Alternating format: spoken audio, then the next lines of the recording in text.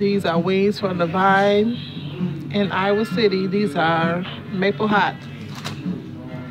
I have a dozen ring, dozen, dozen wings and onion rings.